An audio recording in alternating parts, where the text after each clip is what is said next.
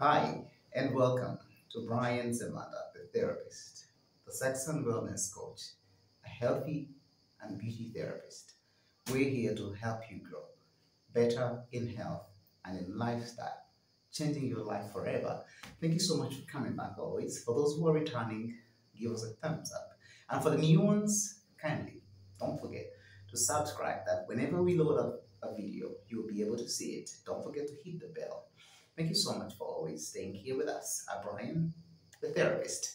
Um, today's topic, we're going to talk about hormonal imbalance. And this is one of the most frustrating things that has happened to many people and disturbing them different ways from different people. But one of the dangers and the mistakes I notice many people that are struggling or dealing with hormonal imbalance is to think that hormonal imbalance is only reproductive health. That is a wrong thing because hormonal imbalance, the whole hormonal code, hormonal system, or the endocrine system is a general body balance. But 90% of the people suffering hormonal imbalance only deal with the manifestations. And in women, it can be through low libido, sexual dryness or dryness. Uh, some people actually have a lot of breakout through skin. Some it could be a funny weight over bust. You, weight at a high rate because you're not knowing what to do and what to address. So everything you're dealing with must have a reason. And when you attack it can help you recover or get sustainable difference or sustainable results depending on how what you're dealing with. So when you're dealing with manifestations, you're going to only do a simple basic.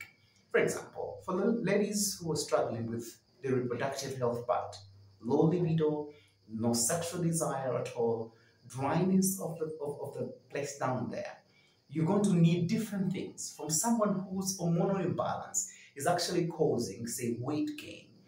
Another person when it's bringing skin issues and, and problems up there. Some, it comes in the form of not sleeping. Then we need to address where it's coming from. Stay with me as we go. One, if you are manifesting through sexual, the reproductive health side, where you are a lady who is suffering dryness, you're going to need a few different things from one who is needing the other. So let's start with what you need if you're dealing with reproductive health issues as a side effect of hormonal imbalance. You're going to get senna leaves. Senna leaves will help you get the body flow you need. It will increase, first of all, your vaginal mucus. That way, you're not going to struggle with dryness. It will help you also aid metabolism and blood circulation. That way, your body will be feeling in a state of balance. The other thing you need as a woman suffering or struggling with reproductive health issues as a result of hormonal imbalance is ladies' mantle. Ladies' mantle can be used in a number of things, though most people who are using ladies' mantle, they're using it for libido, for, for, for water, for uh, dealing with dryness. It has a lot more benefits. One, it activates your adrenal function. Another thing it also does, there's a way it, it increases your body warmth and redirecting all the hot flashes, because some people who are going through uh, this old system, depending on age, they could have hot flashes. So ladies mantle can still help you. All you need is just a teaspoon of ladies mantle in a cup of hot water at least three times a week.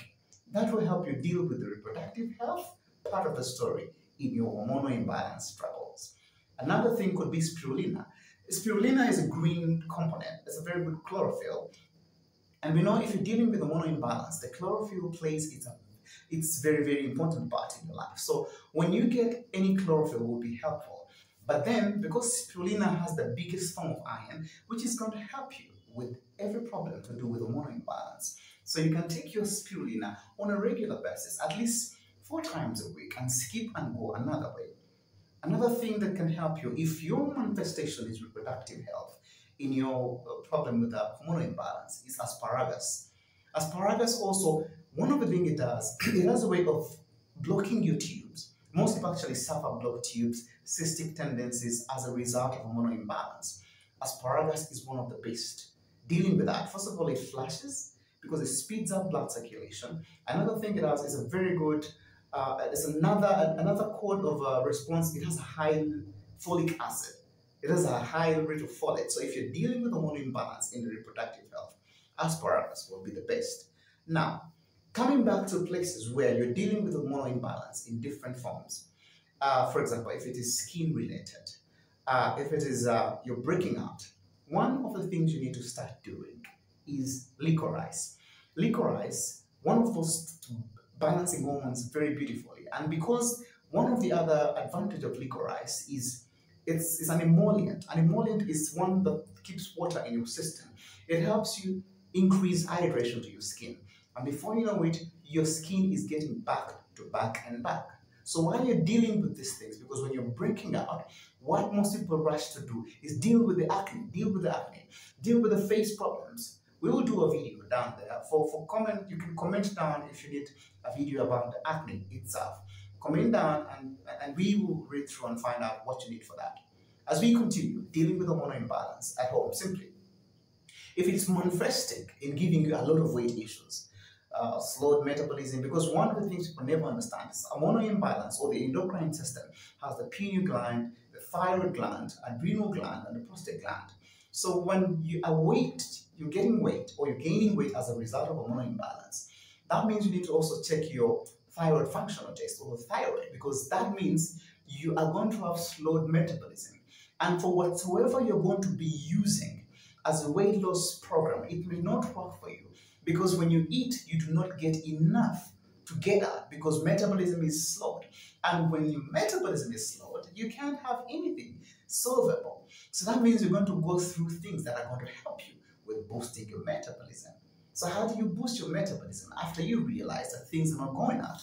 So if your hormones are reacting that way, uh, one of the best things to start with would be uh, um, uh, would, would be uh, would be one of, one of it is cayenne, cayenne powder or cayenne pepper. Another would be cinnamon, and another would be turmeric powder. Those three combinations would really help you with boosting your metabolism and helping you deal with the effect of body weight as a result of hormonal imbalance. One turmeric helps you wash and lower down your cholesterol buildup. The other thing is because turmeric penetrates and breaks every fat easily, you're going to have solvable issues quickly. So when you're dealing with a hormonal imbalance and as a result, you're gaining weight, those three should be at your table. Turmeric, cinnamon powder, and cayenne. Put those together. If you're uncomfortable with cayenne because sometimes it's hot, you can eliminate the cayenne and put ginger in there to speed up metabolism. That way, you're going to have issues that are helping you. And again, for those people who are struggling with hormonal imbalance and the result is actually manifesting in, say, tiredness, that's when your pineal gland is affected. You're, you're tired, and what we call, there's what we call brain, uh, um, what we call neuroplasticity. At the rate your brain can hold some information or something, some people doze at the slightest at, the slightest waiting or sitting somewhere and they start dozing. Some actually have issues with sleep or insomnia.